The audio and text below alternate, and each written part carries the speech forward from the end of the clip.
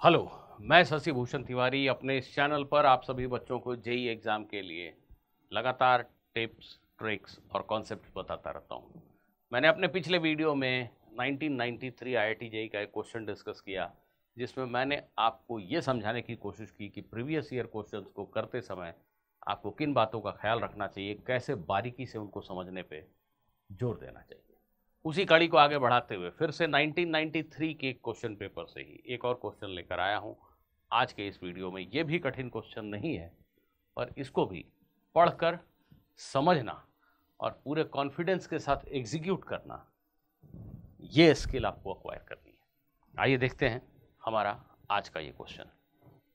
A highly rigid cubical block A of small mass M and side L is fixed rigidly to another cubical block B of same dimension and of low modulus of rigidity eta such that lower face of A completely covers the upper face of A. The lower face of B is rigidly held on a horizontal surface. A small force F is applied perpendicular to one of the side faces of A. After the force is withdrawn, block A executes small oscillations, the time period of which is given by. Naturally इस question को पढ़ के आपको सबसे पहले तो ये समझना है कि ऑसिलेशंस क्यों होंगे? और उससे भी पहले आपको आ, थोड़ा इलास्टिसिटी पढ़ा हुआ होना चाहिए। मॉडुलस ऑफ़ रिजिडिटी क्या होता है ये पता होना चाहिए।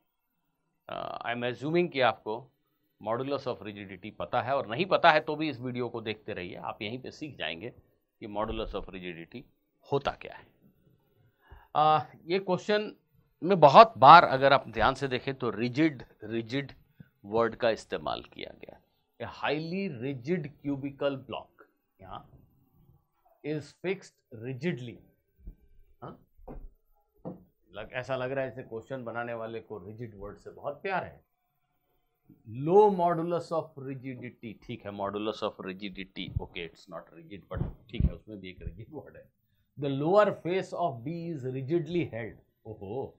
इतने बार वर्ड रिजिड आ रहा है। कुछ तो इसका अर्थ होगा है कि नहीं? सिचुएशन क्या है जरा देखिए।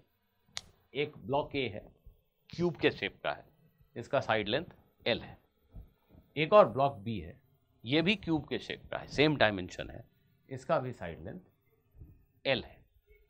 क्वेश्चन के मुताबिक ये जो ऊपर वाला ब्लॉक है it is highly rigid it is a highly rigid cubical block of mass है क्यूबिकल ब्लॉक ऑफ़ मास है.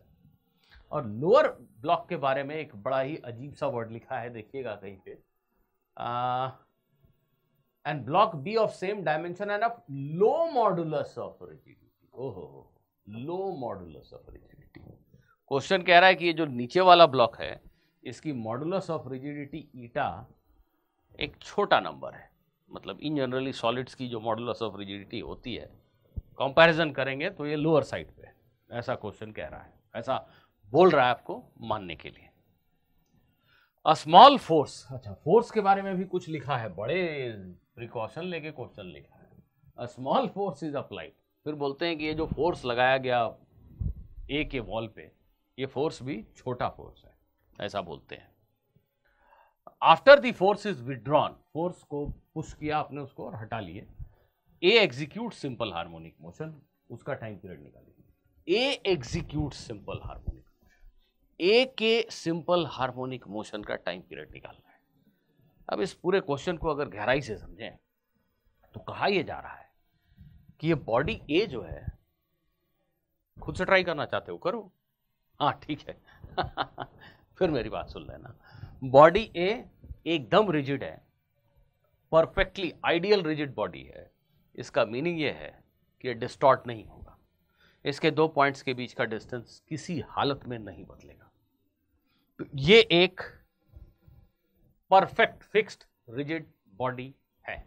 ये जैसा शेप में दिख रहा है, वैसे ही शेप में रहेगा। इसमें किसी किस्म का कोई डिस्टॉर्शन आप उम्मीद मत कीजिए। फिर कहता है कि फ्लोर भी जो है वो एकदम रिजिड है और फ्लोर के ऊपर इस ब्लॉक को रिजिडली फिक्स किया गया है। उसका मीनिंग है कि यहाँ पे खूब सारे ऐसे नट बोल्ट लगाए गए हैं, जिसकी वजह से ब्लॉक बी का लोअर एंड बिल्कुल मूव नहीं कर सकता। ब्लॉक बी का लोअर एंड बिल्कुल मूव नहीं कर सकता नॉट अलाउड ठीक? इसके ऊपर कहाँ फोर्स लगाया गया, इसके बारे में चर्चा नहीं की गई। फोर्स किस हाइट पे लगाया गया, ये नहीं बताया गया। अब देखिए ब्लॉक ए रिजिड है इस पर आपने फोर्स एफ़ लगाया। समझिएगा बात को। आ, ये ब्लॉक एक मिनट के लिए हम मान लेते हैं। Just a minute. मान लेते हैं कि ये ब्लॉक अपनी जगह से एक्स डिस्प्लेस हो गया। क्यों डिस्प्लेस हो गया? इसको फोर्स करने से ये वाली चीज़ रिजिड नहीं है ये ऐसे डिस्टॉर्ट हो सकती है। जो ऑब्जेक्ट बी है नीचे वाला, उसको धक्का देने से वो ऐसा डिफॉर्म हो सकता है। ऐसा था, ऐसा हो सकता है। उसको आप ऐसे पुश करो। ठीक, यही कहा जा रहा है, वो परफेक्टली रिजिड नहीं तो उसके ऊपर जो ब्लॉक ए रखा है, वो तो डिस्टॉर्ट नहीं हो रहा है। जब ऑब्जेक्ट बी इस पोजीशन से, इस पोजीशन में गया तो इसके ऊपर रखा हुआ ब्लॉक यहाँ से, यहाँ आ गया। वो सिर्फ़ सरक गया। तो एक मिनट के लिए माने कि आपके फोर्स लगाने से अगर ये पीले रंग का ब्लॉक एक्स डिस्प्लेस हुआ, एक मिनट के लिए ऐसा मान लें। तो जो बी है बी बी की पोजीशन कुछ ऐसी हो जाएगी। थोड़ा सा हाँ यहीं पे ड्रॉ करूँ? नहीं, अलग से ड्रॉ कर देता हूँ।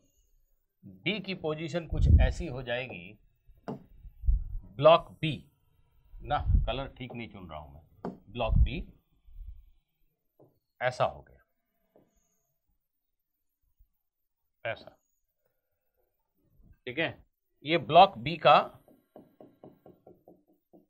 ये वाला किनारा जो कि यहाँ था, ये एक्स आगे चला गया। वैसे ये वाला किनारा भी एक्स आगे चला गया। ब्लॉक बी ऐसा डिस्टॉर्ट हो गया। इसकी हाइट भी एल है। क्यों डिस्टॉर्ट हुआ ब्लॉक बी? क्योंकि जब आपने ब्लॉक ए पे फोर्स लगाया और ब्लॉक ए पे कोई और फोर्स ना हो तो ब्लॉक ए तो हॉरिजॉन्टली एक्सेलरेट होता चला जाएगा। पर ऐसा तो हो नहीं रहा, ये बंधा हुआ है, चिपका हुआ है फेविकोल लगा है और उससे भी मज़बूत कोई एडहेसिव लगा है। तो ब्लॉक ए आपके फोर्स एफ़ लगाने से एक मिनट के लिए मान लेते हैं एक्स दूर जाके रुक गया। जस्ट इमेजिन कि एक्स चल के रुक गया।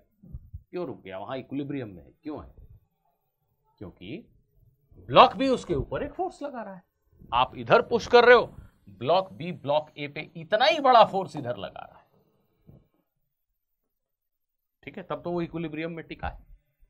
राइट अब इसको अगर देखें, ब्लॉक बी को देखें तो ए ने बी पर इतना ही बड़ा फोर्स इधर लगाया हो।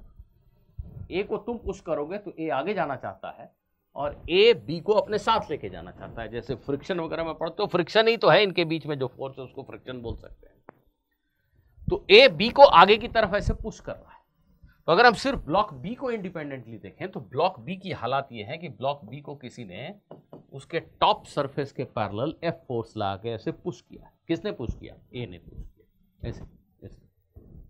राइट तो ब्लॉक बी के ऊपर जब एफ़ फोर्स लगेगा तो ब्लॉक बी का जो ये टॉप सरफेस का एरिया है एल स्क्वायर क्यों भाई L square force per unit this area is known as shearing stress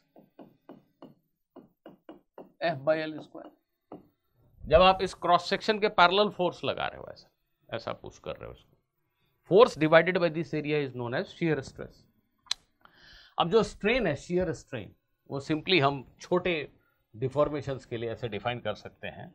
आ, ये डिफॉर्मेशन बहुत बड़ा नहीं है ऐसा मानते हुए ये एक्स बहुत बड़ा नहीं है।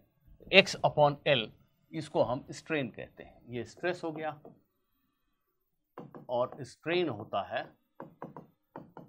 एक्स अपॉन एल इसको कहते हैं शियर स्ट्रेन ठीक है? छोटे एंगल के लिए X upon L is tan theta उसको थीटा भी कह सकते हैं simply if the angle is really small if X is really small इसको हम शियर स्ट्रेन कहते हैं।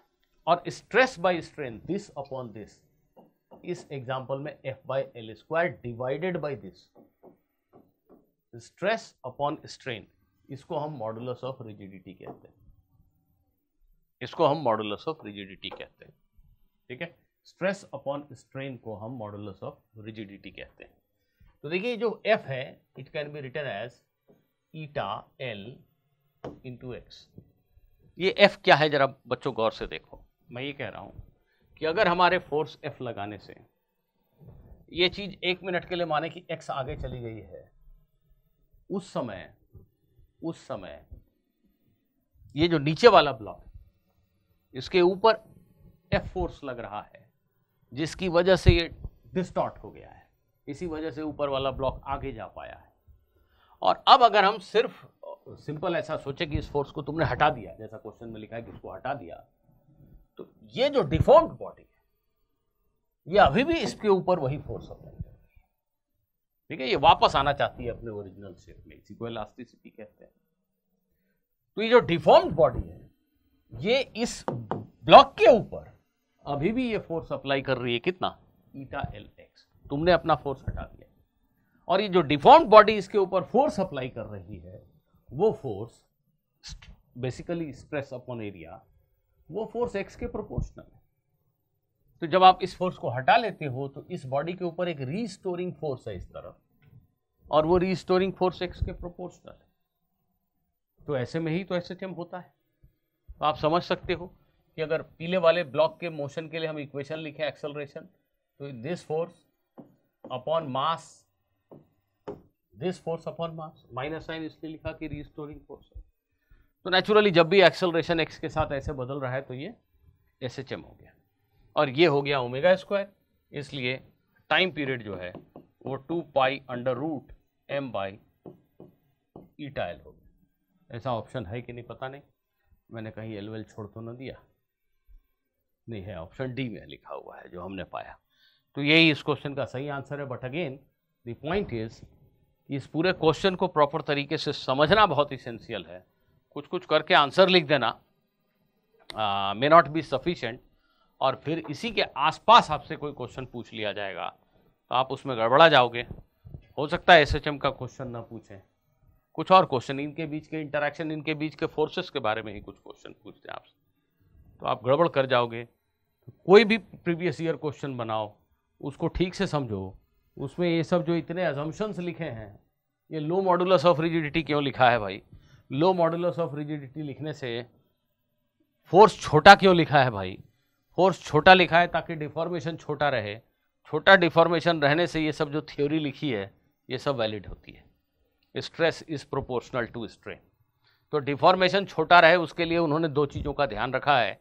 एक फोर्स छोटा बोला और दूसरा, क्या? मॉडुलस ऑफ़ रिजिडिटी इसलिए छोटी थोड़ी बोली। मॉडुलस ऑफ़ रिजिडिटी को इसलिए छोटा रखा है कि छोटा मोटा फोर्स लगाने से भी फोर्स तो छोटा है ही। और छोटा मोटा फोर्स लगाने से भी यहाँ कुछ तो डिफॉर्मेशन हो, ये कुछ तो चले, ये इसकी रिजिडिटी बहुत हाई होने का मतलब हुआ कि छोटा मोटा फोर्स लगाने से तो ये नहीं के बराबर हिलेगा। उन्होंने कहा कि नहीं, इसकी रिजिडिटी कम ही है और छोटा मोटा फोर्स लगाने से आप ऐसा मान लो कि ये हिल रहा है। अगर इसको भी बहुत रिजिड बना देंगे तो नथिंग विल मूव तो इसको ठीक करने के लिए कि नहीं भाई, कुछ चल रहा है। उन्होंने ऐसा लिखा। पर क्वेश्चन में जो सबसे इंपॉर्टेंट अंडरस्टैंड करने वाली पॉइंट है वो ये कि ये whole block as a unit just like a particle ऐसे मूव कर रहा होगा। इसमें कोई डिस्टॉर्शन डिफॉर्मेशन नहीं है, क्योंकि ये परफेक्टली रिजिड है, ये जस्ट ऐसे चल रहा है। इसके डिफॉर्मेशन से इस पर जो फोर्स लग रहा है that force is responsible for making it oscillate so I hope बच्चों के आपको ये वीडियो पसंद आया। अगर पसंद आया तो लाइक ज़रूर कीजिए सब्सक्राइब कीजिए, अपने कुछ दोस्तों के साथ शेयर कीजिए, आप लोग शेयर नहीं करते। चलिए मिलते हैं अगले वीडियो में। किसी और बात, किसी और कॉन्सेप्ट के साथ। Good bye